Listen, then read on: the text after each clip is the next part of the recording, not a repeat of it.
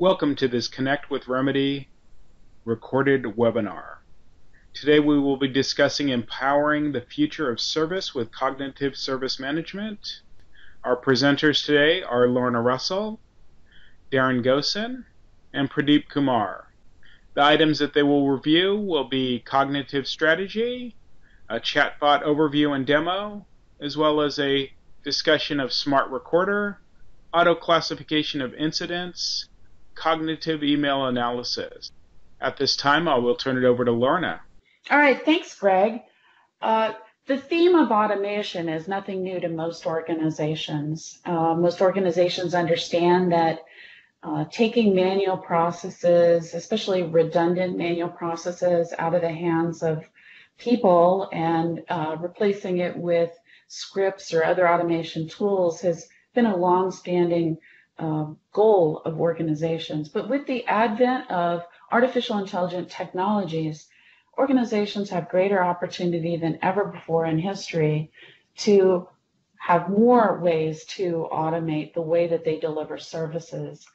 And BMC sees that this is going to have a great impact in IT service management.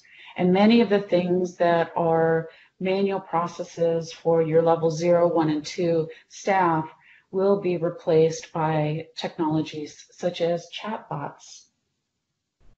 So as BMC, we feel we have a responsibility to help our customers mature their organizations. And this slide represents our point of view. And we've been crystallizing this as we see the market change and we talk more with customers. This is our definition of where we see the marketing go, the market going.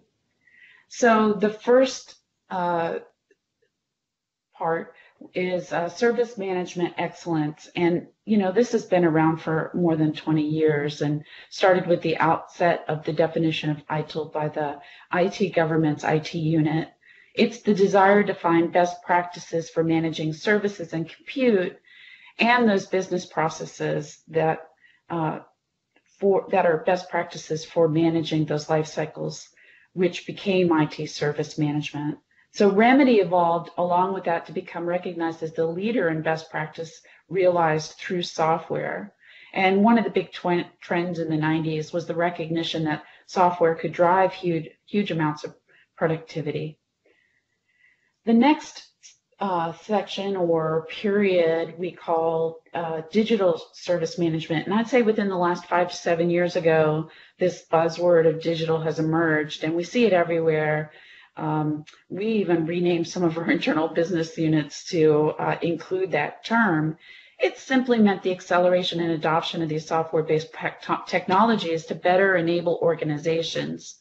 For us within the DSM unit, we see three distinct trends of categories of tech that are being deployed to support this. The first one is cloud, cloud being remote compute being delivered.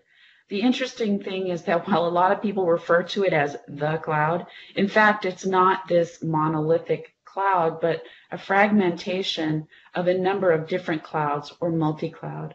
Our business units delivered a, a number of solutions like multi-cloud discovery and multi-cloud service management uh, through uh, so that we have a track record of helping organizations manage these clouds.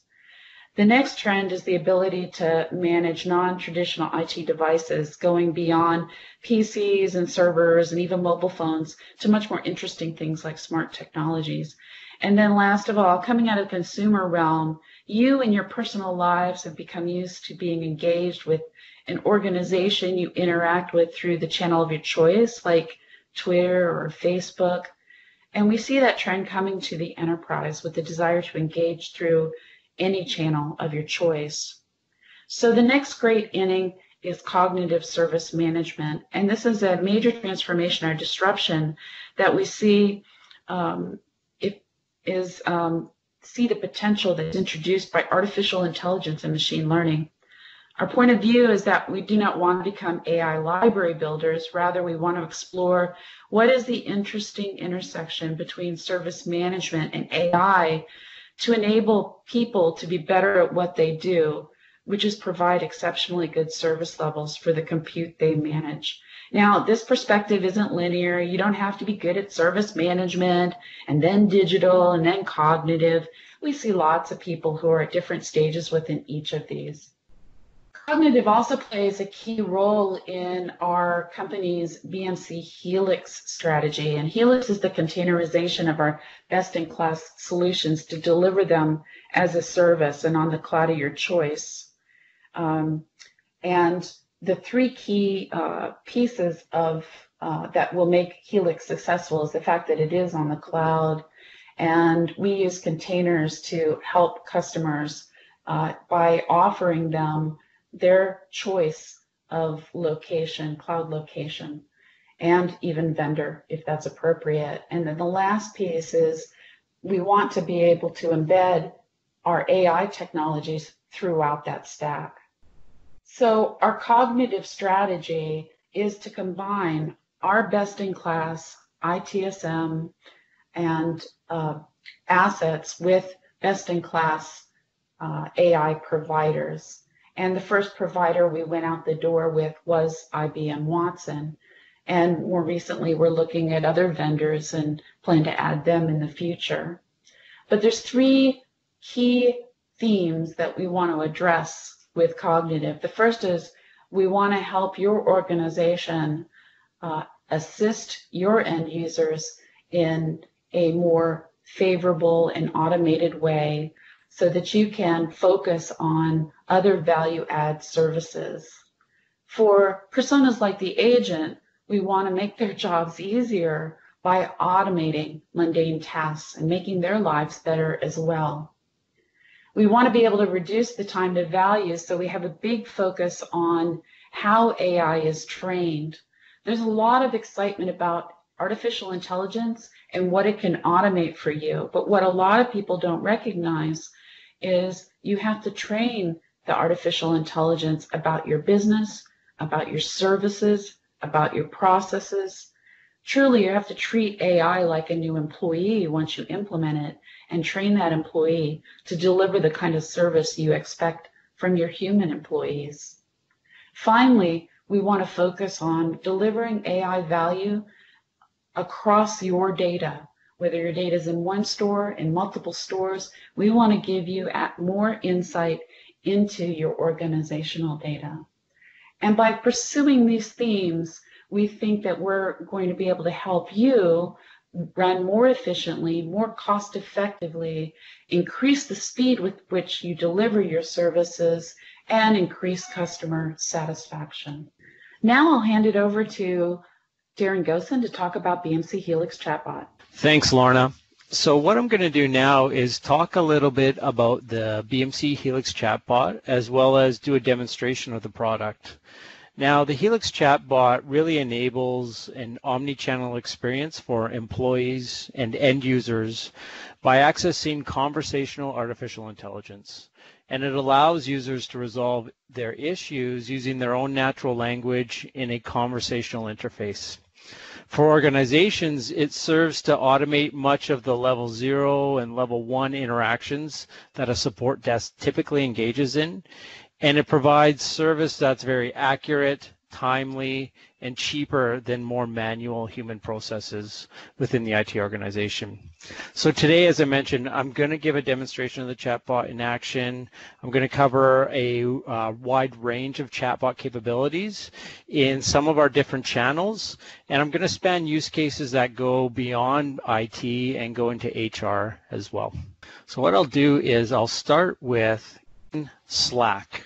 And Slack is a channel in which a lot of enterprises have started to use in which their employees are engaging with chat conversations with uh, people throughout the organization. And what this does is allows us to bring our chatbot into the channels that people are already using. So I'll go in, I've logged in here as Slack, I'll go to the Helix Slack bot. And what I'll do is I'll just start by typing my question or comment that I have for the chatbot in my natural language. In this case, I need to install some new software. So I just tell the chatbot that.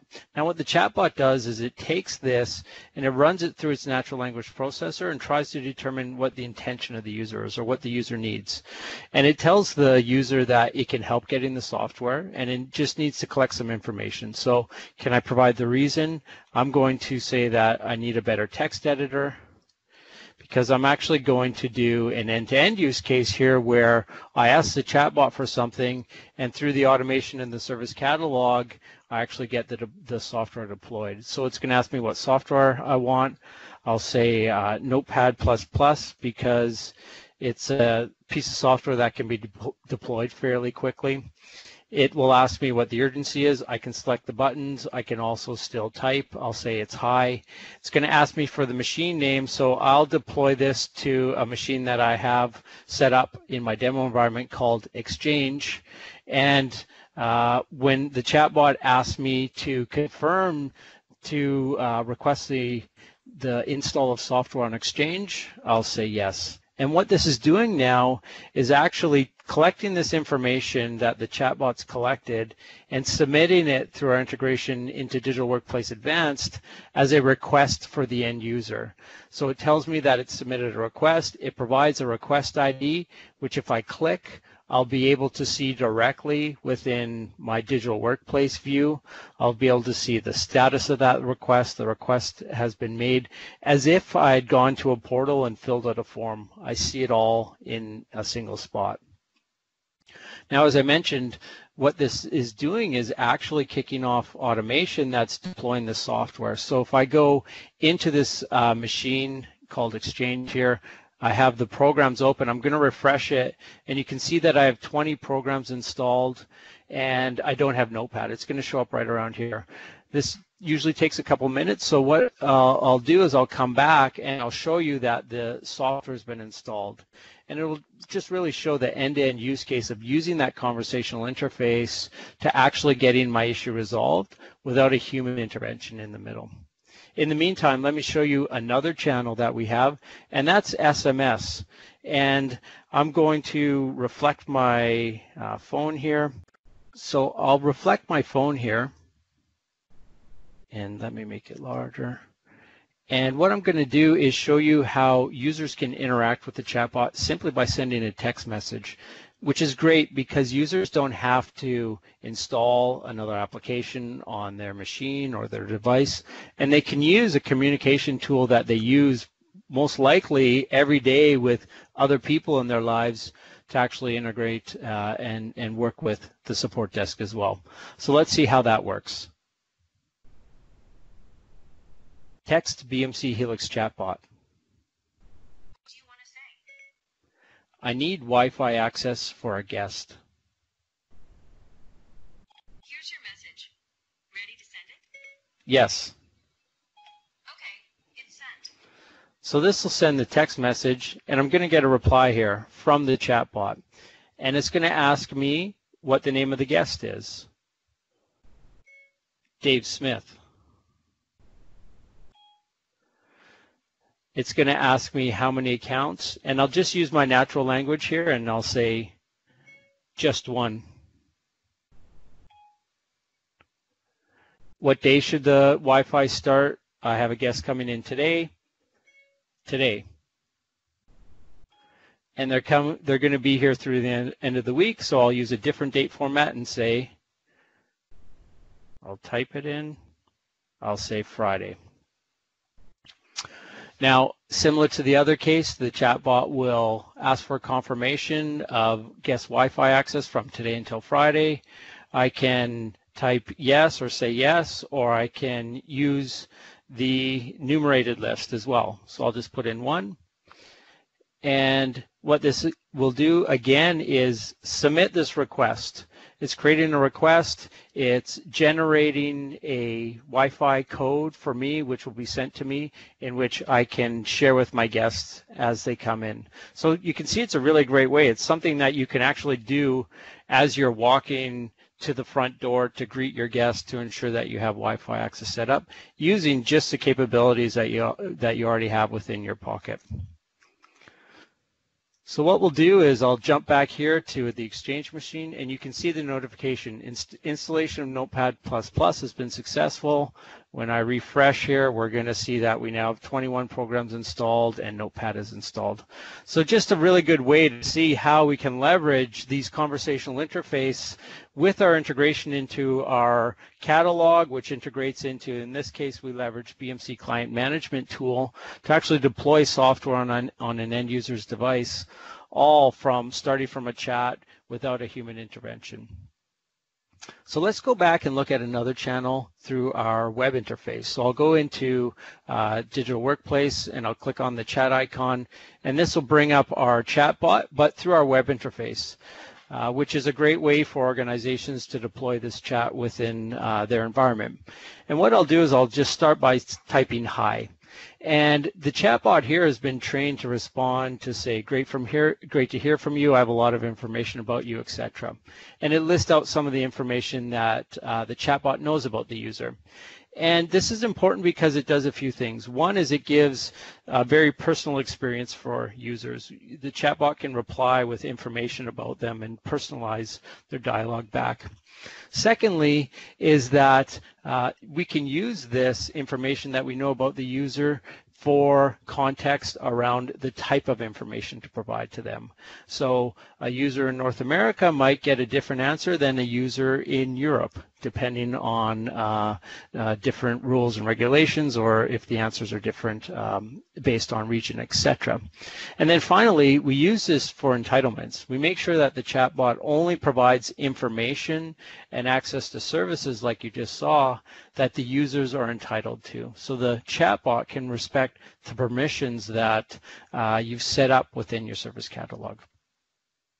I want to show you a couple examples of how we use uh, natural language. So I'll tell the chatbot, I dropped my laptop, I need a new one.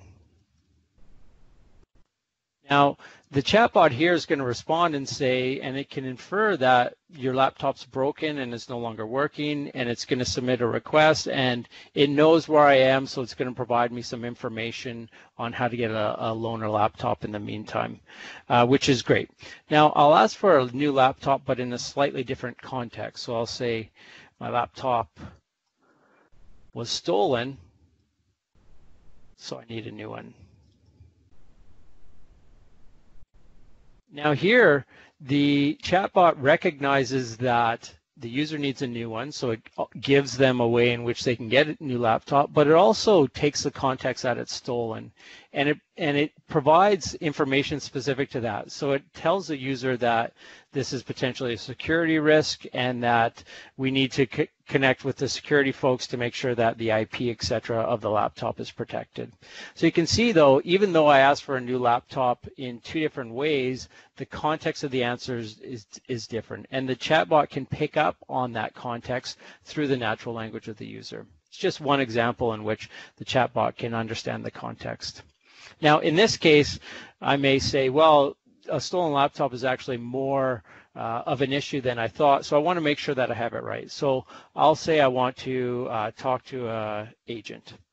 And I want to make sure that uh, I'm talking with a, a live agent to make sure that I have everything correct.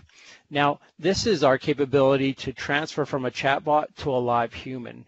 And what this does is it takes the full context of the conversation and passes it through an integration into our live chat tool so that an agent can actually get this. Now, uh, uh, I'm acting as an agent on the other screen, but the agent sees, can see the full view of the conversation with the user and it can respond. So the, the agent here can say, I can help,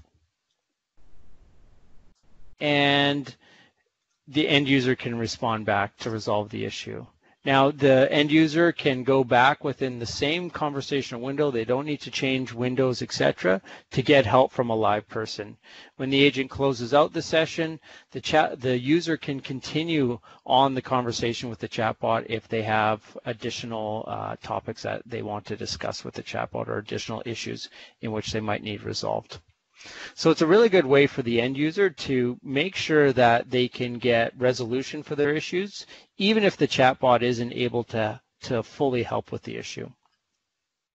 Now, what happens if the chatbot doesn't understand an issue? So I'm going to ask the chatbot that something that it doesn't understand. I'll say for an HR case, I want to uh, give a spot bonus. Now here the chatbot responds. What it's done is it has gone out, it's searched for some knowledge within its uh, databases to see if it has any information that can provide the end user, and it hasn't been able to find anything sufficient enough. So it tells the end user that I can't find anything related to your issue. Would you like me to create a request for you?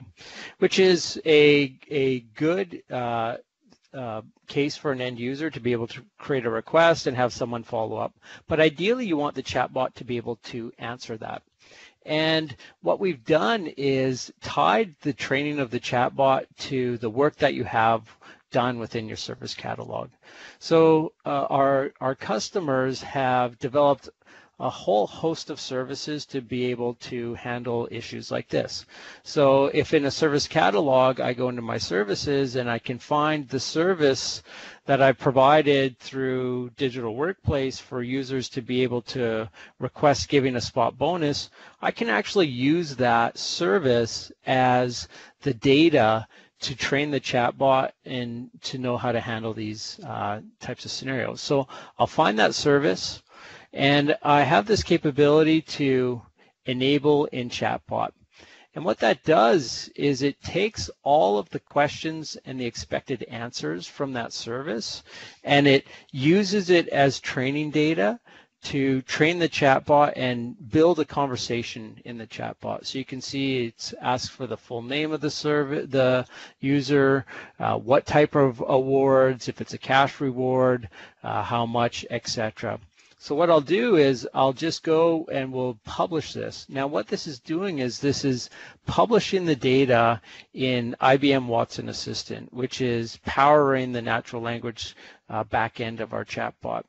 And it's now kicked off a training uh, instance where it usually takes about a minute or so for it to take this new data that we provided from the service catalog and retrain the chatbot so that it will now understand how to interact with the user if the user asks about giving a spot bonus. So I'll go back into my chat window here and we'll see if the, there's been enough time. I say I want to give a spot bonus and notice here I'm not refreshing the chatbot uh, or anything, the training in the background is going to take care of it. You'll see that the the question or the response from the chatbot is totally different. It's asking for the full name of the nominated employee. Essentially, the questions that are asked within the service if you went to fill out a service in a form. So here I'll say it's uh, Mary Mann and it's saying what type of award would you like to give Mary Mann. So you can see that it can take the response and actually personalize the dialogue with the user. Here I'll say Bravo points, and I'll say why does this employee deserve uh, a uh, bonus. So I'll say she's done a great job. Now, one thing you've noticed, it didn't ask about the cash reward either. So if I go through here and I click yes, this is going to submit a request, which will kick off the process for this, this Bravo Points award being uh, presented to Mary. Now, let's try it a different way, but say that we're going to give a cash reward. So uh, I want to give a spot bonus. I'll say again,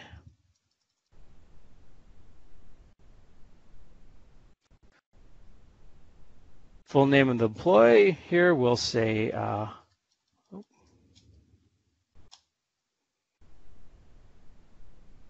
Mark Smith, and I'll say cash. So you'll see here is that the chatbot asks a different question. It asks for the cash reward amount.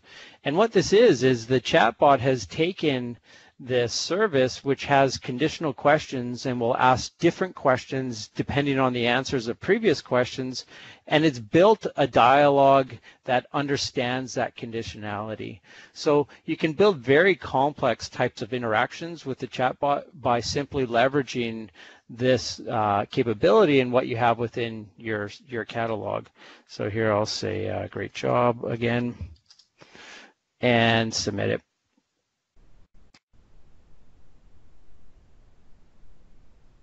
And you'll see the request done again. so that's a way in which we leverage the capabilities, the information that you have within your service catalog, etc., to very easily train the chatbot to be able to handle the more the use cases that you already have services for. And that wraps up my demonstration of the chatbot. Uh, from here, I'll hand it over to Pradeep to go over his content. Thank you, Daren. I completely agree about the excitement and the value that chatbots are bringing to the domain of service management. It's, it's just phenomenal to be able to use these tools uh, and help our customers, our stakeholders better, right? What I'm going to do, and, and as um, Lorna had previously indicated, um, we're going to now focus on the other areas where AI, machine learning is making a difference and making lives better for our, our agents and our different ITSM personas. So I'm going to walk you through many of those use cases, um, just going back to the agenda for a little bit. Um, I'm going to cover smart recorder, then um, a little more about auto, auto classification of incidents, then uh, a very exciting capability, cognitive email analysis and response. Uh, and those are the three items that I'm going to focus on. Uh, and we're going to see a demo of each one of those as we go through the session. So the cognitive smart recorder um, is a is an enhancement to the smart recorder, which is industry leading pending, one of the, the most exciting innovation in service management that has come out from BMC.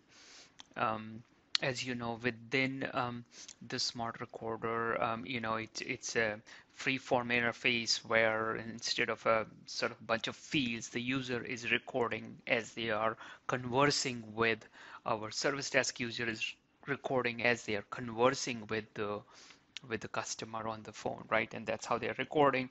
And, the smart recorder is intelligent enough to provide resources in real time, right? So as uh, the service desk user is recording more and more description, the system is providing the related tickets, um, system is automatically providing the resources that uh, um, that help the agent resolve the problem better, right? So, uh, so the knowledge articles that are matching that may resolve the problem for the customer, or um, resolutions that might might be relevant for for this ticket. So all sorts of exciting things. System getting intelligent. That's that's smart recorder that's been there, um, and uh, we're looking at this as, as something that can do much better job using some of these machine learning capabilities.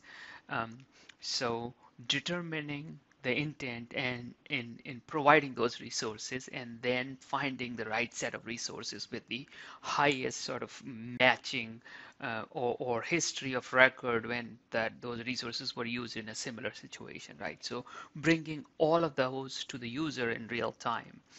So one of one of these additions to this capability is about um, you know the system automatically categorizing these incoming incidents, right? So as the user, uh, a service desk user is typing the description for the ticket um, in in the smart recorder, and uh, and at the point that they are done with the description, the system automatically making a call to the cognitive service, which basically then takes on to the machine learning engine and gets a categorization, right? So the OPCAT, operational category or product category, both it gets them and uh, it basically um, um, populates it and it shows it on the UI itself that this has come in from the cognitive engine, right? From the the cognitive service. So the user knows that this is a data, where, what's the source of the data, and they can review it. Obviously, they do not need to record it again, or so they, it saves them time. And at the same time, uh, you know, if they have to change it, they can change it. Um, so, so this is this is a great enhancement, right? As we know that in this in our world of service management or managing a ticket lifecycle, the categorization plays an important role with respect to you know the assignment for the the support group, um, you know the many other things. The whole life cycle of the ticket may be determined from the categorization. So it helps them get it right for the first time. In fact, it does it for them. So it saves a lot of time and effort and makes uh, the whole process streamlined for our, our users. So a quick demo for this now. So the user here, the service desk user here is reporting or, or, or uh, re recording a ticket and um, um, you know, Mary Mann, Merriman here reports that a projector is not working in conference room A. We can see here as they they came to the point that the ticket needs to be saved, system auto, automatically determined the off OPCAT and uh, product category provided the, ca the categorization for itself. Now, once you save it, that gets saved, all of that thing. So then in here that the, the beauty of cognitive and machine learning capability is that if there are different variation on this ticket description, right? So then the system or the cognitive service is intelligent enough to be able to get that and do proper categorization. So in this other example, if you see the slightly different uh, description and that the projector is not working, uh, still it gets the right categorization. In the third round here, I'm going to show you another example where you know the the ticket as it it gets recorded, it is saying that product projector does not come online. In this case, uh, you have um, system categorizing all that that incident in real time with the right categorization for for the ticket incident. So that's uh, that's an example how smart recorder now is getting way more cognitive and it's leveraging the machine learning capability to be able to help our users, the service desk users, to be able to be a lot more efficient and um, and get right data automatically. So then the next capability that I want to talk about is the cognitive driven auto categorization, right? So this is uh, a little variation of the capability we just saw, right? But as we understand this, our system is determining the intent, user's intent, right? The real intent, and then using the machine learning service to um, to categorize or auto categorize for that intent, right? So in this case, um, what happens is um, whether it's a smart recorder or uh, on, or a new ticket creation through UI or through backend service, uh, you have if you have if you you can enable the system to be able to auto categorize, right? So um, as a ticket comes in which does not have the category data populated, you can pick up uh, the system can pick up uh, mm, uh, pick up the description and use it and feed it to the machine learning engine. The machine learning engine based will determine the intent, would sort of do its own magic and come up with the right sort of recommendation for the, those categorization. So that is another way that any incoming ticket from any source, you can enable this cognitive driven auto categorization. Now to further enhance that, what we have done is that when a user is on on a UI, we have added this recommendation button, right, which is with a brain icon that allow that let lets them know that this is cognitive service. So they can choose to do it on demand any point in time, right? So for some of those scenarios where the updates on a ticket kind of results into um, a need for recategorization of the ticket, you can just manually press the button and have the cognitive service get the right categorization data for you for OpCat, product cat, or resolution cat. Um, and as as I covered before, the categorization is kind of the core for the the how how the ticket gets assigned, you know, and so how to auto classify the incident, or how sort of the support group, or to who's the support person, or so all of that is basically streamlined and helps you um, do that in much much more automated, simpler, easier way. So we're going to see a quick demo of this capability next. Um, in this demo, what we're trying to see here is that we have a ticket and the user is on the UI. You have, you know, the user is able to click the recommendation button and it basically goes to the cognitive service in real time, gets you the recommendation for product cat, op cat You so, so that's that's as simple as that right so you something you're editing an incident something changed you need to recategorize you can do that on the fly so let's say in this case if there is a bit of a change in the description of ticket right the ticket says hey um, I, you know, it cannot connect wireless, it say cannot connect to Wi-Fi. It's a little bit different, right? In that case, case also the recommendation button will get, you know, the right set of categorization based on determining the intent of the user and doing a much, much better job um, of getting the right categorization for our ticket.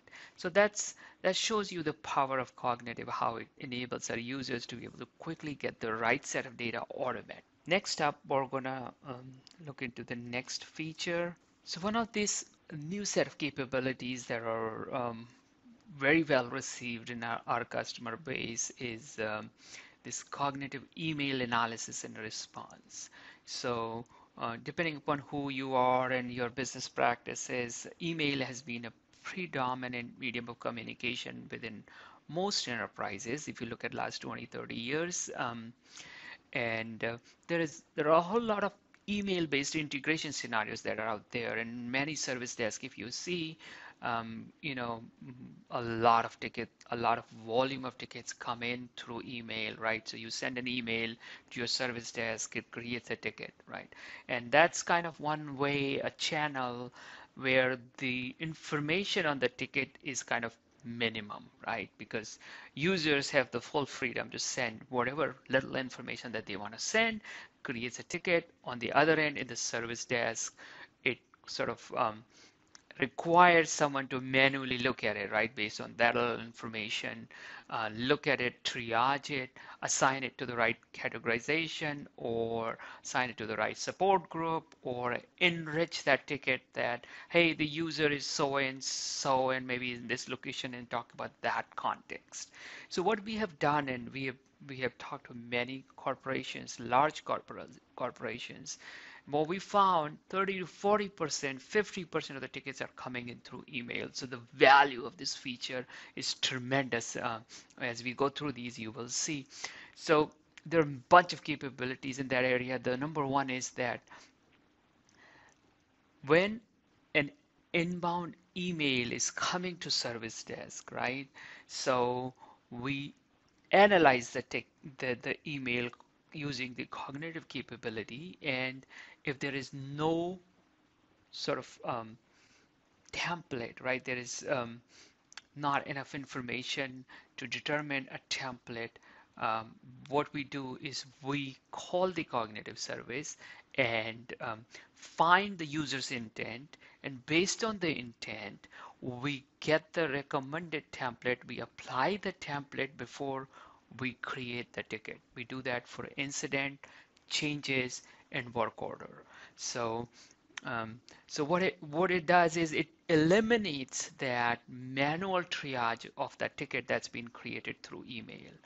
Um, the second capability is about um, you know being able to automatically respond to the email with a knowledge article, right? For the, for self-help right? So um, an email comes in, cognitive um, service evaluates it and responds back to the user with a knowledge article. The third one is to be able to respond back to the email with a DWP or digital workplace item, the catalog item in digital workplace that is our end user portal.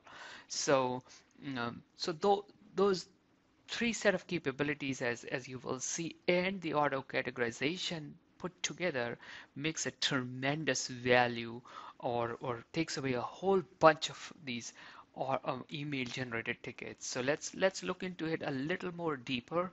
Um, so the, the first one that um, you know when the email is coming in um, and um, so uh, we allow um, incident changes work orders to be created using email, right? So in inbound email, this, the user can designate, um, you know, some codes, or we can, you know, um, create an incident by default. We create an incident, all all those sort, sort of scenarios. So for all of those incident change or work order, when an, there is an incoming email, we evaluate that email that intent, we call the cognitive service, we get a recommendation for the template, and we get a high degree of confidence, then we use that template to create that incident change work order with the right template.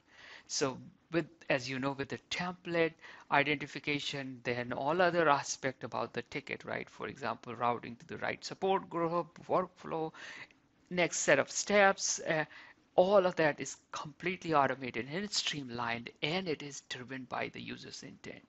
By the way, when we do that, as you can see here, it um, you know we put a record on on on the work note saying that hey, cognitive service management um, applied this template uh, while creating this ticket. So when a service desk person looks at that ticket in an UI, they know what information the ticket came in and then the template got applied and that's how the ticket is in. So from a value perspective, this capability has saved multiple FTEs, right? If you think about it, if you have 30 to 40% of your tickets coming in through email and uh, all of those tickets were requiring manual triage. Now, none of that manual triage would be needed because the template would would be applied right away.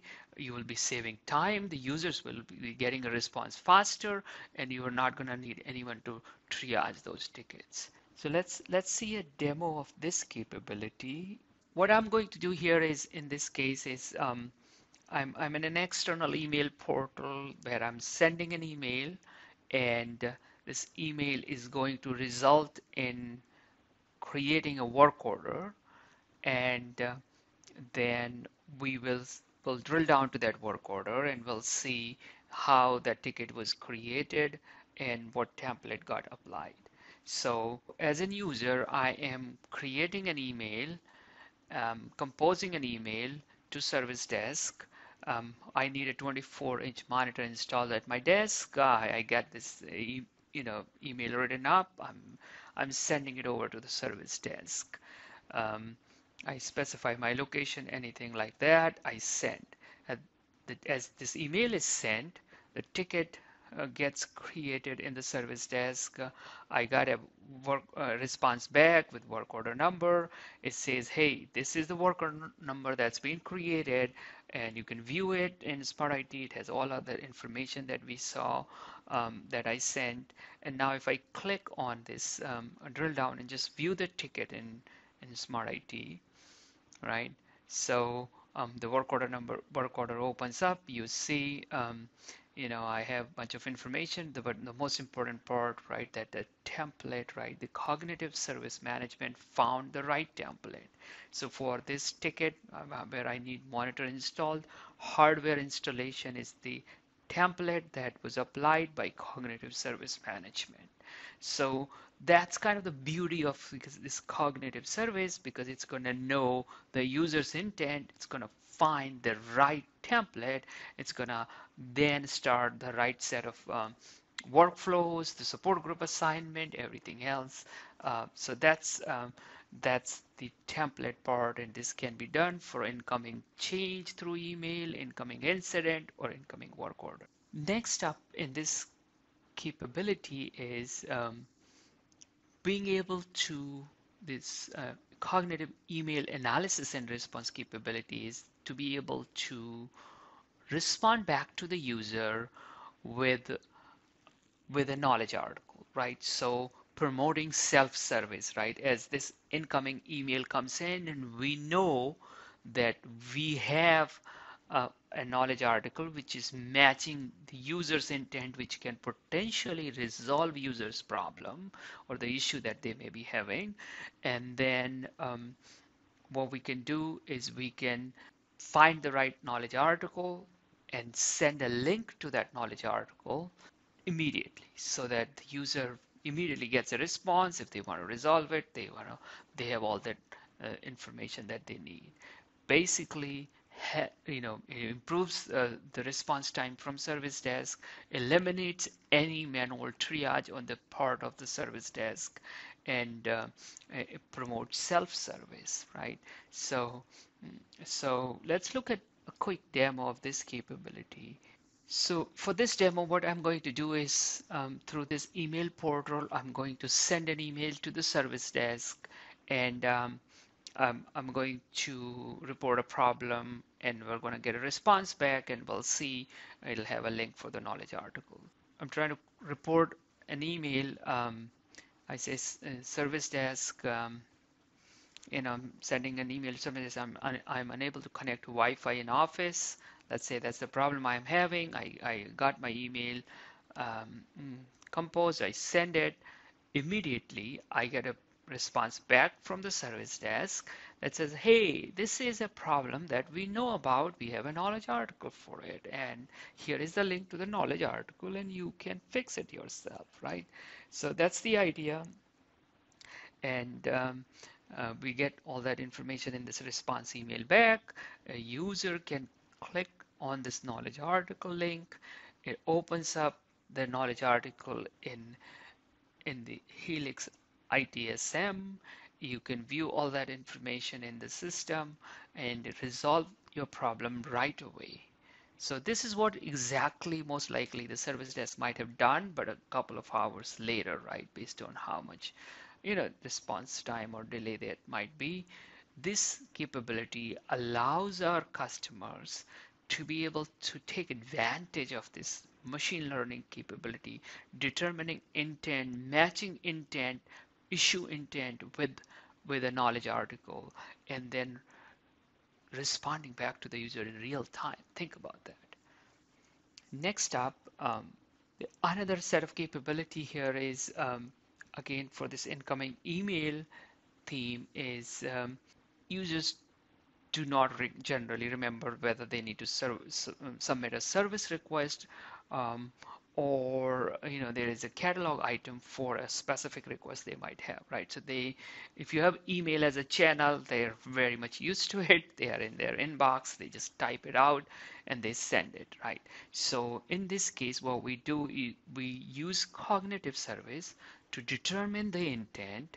And once we get the intent we you know, find, look for it, right? If there is a matching catalog item, then we respond back to the user with that link to that catalog item so that um, the user does not really um, need to wait. They can quickly complete that service request or the set of information that's needed and then you know the service desk is able to help them out. It makes the service desk operation much more smoother faster eliminates this manual triage of that incoming email that someone some service desk agent would have looked at it would have basically um, then gotten back to the user hours later saying hey i need this information or you have a catalog uh, item that you you need to complain. Yeah so it eliminates all of that.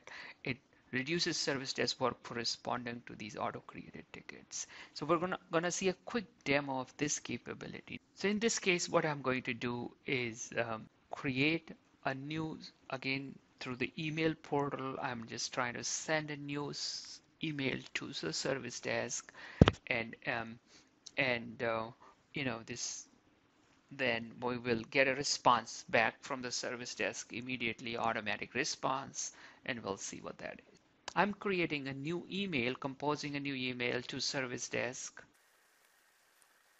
So I need to replace my company provided mobile phone, right? And I'm, I'm, I'm just sending that email to the service desk. Um, as um, as I'm sending that, again, the uh, the the email processing engine is gonna gonna evaluate this and see, hey, there is already a DWP or digital workplace catalog item for it. So they're going to send it uh, the response back with that link to that catalog item, which has the set of information that we need from the user, the justification, all other information, right? So that link comes to the user, user can click on that link, right? And it takes them there to order a mobile phone bill, that kind that catalog, and they can complete the information here, right? This is the standard service um, catalog form. Um, you know, all the proper information is captured here, and and basically, in real time, service desk without requiring any manual intervention has deflected that ticket and user is able to get the answer and move forward with the right set of information. That is the value the cognitive capabilities are bringing to service desk. So we now we now saw a bunch of capabilities um, with respect to um, you know this cognitive email analysis and response right? Now how do those things work together right? There are many of those capabilities we just saw and we basically how do you determine which ones to apply and how do they how do they all work together basically right there's a set of these capabilities that um, are applied on an incoming email so what is kind of the sequence of things that happen, right? So there is an email that is being that's coming into service desk. Now, first thing we do is we evaluate for catalog evaluation, right? So we um, incoming email, we look at the email subject and the description, and we say, let's determine the intent, right? What is the user's intent? Let's get the cognitive service in. Now, first thing is, is there a catalog that supports that sort of matching intent? Then we know that this is this is basically uh, something that we can sort of resolve the ticket right away, at least from a service desk point of view. So um, so we do that catalog evaluation, and we find a matching intent then we auto reply as we saw in the demo with the catalog item, right? And then user can move on. Um, suppose we do not find a match matching catalog, right? Item. Then what we do is we then evaluate for a matching knowledge article, right? So, so we, we want to evaluate the intent for a matching knowledge article and in case, assume, let's say, if there is a knowledge article that we find, um, obviously with high degree of confidence, then we reply to the user with that knowledge article, right? As we saw in the demo. So, um, so then user can self-resolve the, the issue that they may be having.